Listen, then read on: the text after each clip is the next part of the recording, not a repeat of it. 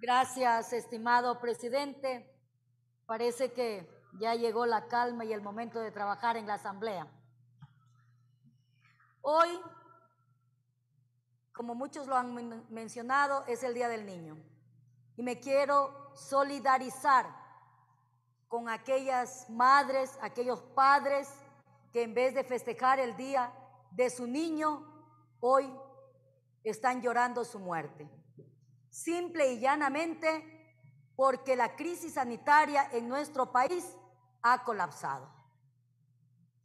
El 24 de mayo todos estuvimos presentes aquí, los que quisimos venir y escuchar en primera línea, si se puede decir así, y confirmamos y fuimos testigos de que aquí estuvo la ministra de Salud. Más de tres horas, sea como comisión de aplausos o como comisión de compañía, pero aquí estuvo. ¿Por qué razón cuando se solicita que venga a dar explicaciones de la crisis sanitaria que se vive en nuestras provincias, no viene? Cuando me solicitó la firma de apoyo el asambleísta Marco Molina, presidente de la Comisión de Salud, no dudé en darle mi firma de apoyo para esta moción que hoy, aunque con bastante dilatación, se trata. ¿Cómo es posible, compañeros asambleístas, que las provincias que son parte de una zonal, como el caso de Santo Domingo de los Áchilas, se califique tanto al Hospital de Líes como al Hospital Gustavo Domínguez como regional para que se dé la atención a los usuarios de cantones y provincias colindantes, regional, de hospital de la región, cuando al momento de estar dotado de presupuesto, de insumos, ahí sí se lo considera como hospital provincial. Eso hace deficiente la atención de los médicos que como ya se ha tratado también, han sido despedidos. ¿Y quiénes han sido despedidos? Aquellos que fueron contratados en la emergencia sanitaria. ¿Y, cómo, ¿Y qué es lo que pasa cuando hay falta de médicos? Un médico, ojo, un médico tiene que atender por 20 minutos a cada usuario. Hablemos del IES, por 20 minutos a cada usuario. ¿Qué le puede preguntar? ¿Le duele? Ok. ¿Qué le duele? Vaya a su casa.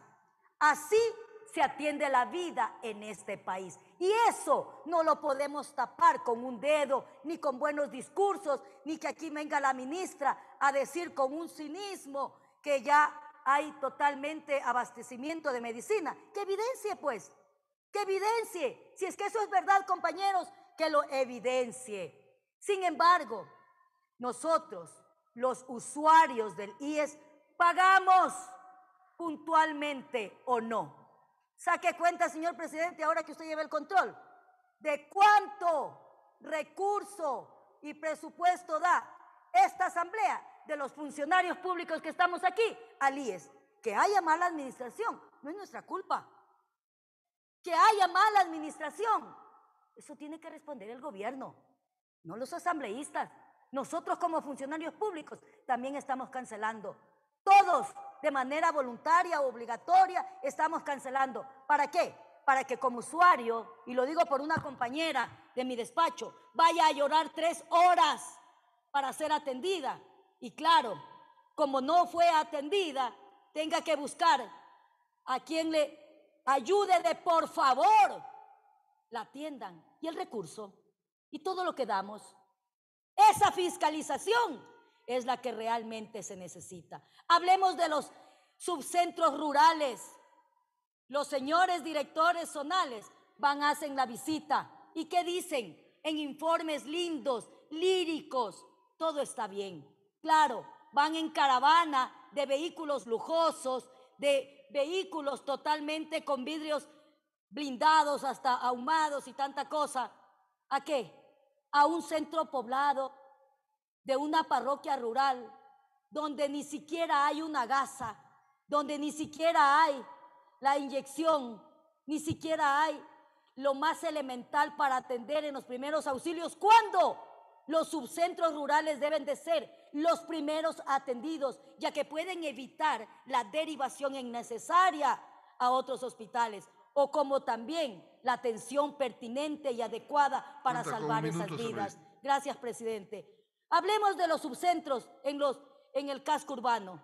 Vayan, vayan asambleístas, y ahí sí yo los invito. Visiten provincias donde las gavetas de los archivadores se caen en óxido, donde las paredes que van en la emergencia suturan todo el agua que cae de paredes viejas. Ahí si van por una enfermedad salen con tétano. ¿De qué? ¿De qué atención de medicina hablamos? ¿De qué salud hablamos cuando no hay ni salud preventiva, peor curativa? Médicos que por no perder su trabajo mienten y que muchos otros hacen rifas para comprar la pintura, para hacer mejoras en los subcentros. Esa es la realidad. Presidente Lazo, ministra, no solo hace falta que vengan a responder aquí, ni a decirnos que extienden las manos, extiendan política pública, formulen política pública, ejecuten política pública para salvar la vida de los ecuatorianos. Gracias. Javier Jurado.